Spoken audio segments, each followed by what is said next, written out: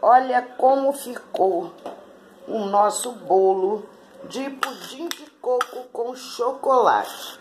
Essa delícia, eu quero que você veja. Olha que delicioso. Olá pessoal do canal Com Que? Hoje eu vou fazer um pudim, um pudim de leite condensado com coco junto com um bolo de chocolate.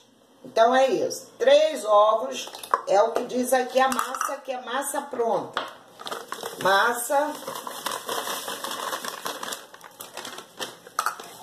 Em vez de manteiga, eu substituí por óleo.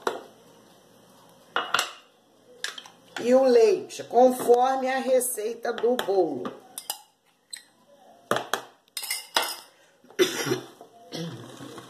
Agora é o pudim. Que, que vamos colocar? Vamos colocar o leite condensado, dois ovos, leite em pó. Esse leite aqui eu tô usando para 395 ml de água, ok, pessoal? Ou seja, quando eu tirar o leite, eu vou botar água aqui. Leite em pó já vou colocar. Vamos colocar água, uma medida igual de leite, né? Assim, a receita do... Já tá tudo prontinho. O forno já está ligado com uma, um tabuleiro de água para botar o pudim em banho-maria. Ok? Então, agora, o que, que vamos fazer? O coco que vamos colocar no pudim. Tô colocando mais ou menos 50 gramas de coco ralado no pudim. Pronto.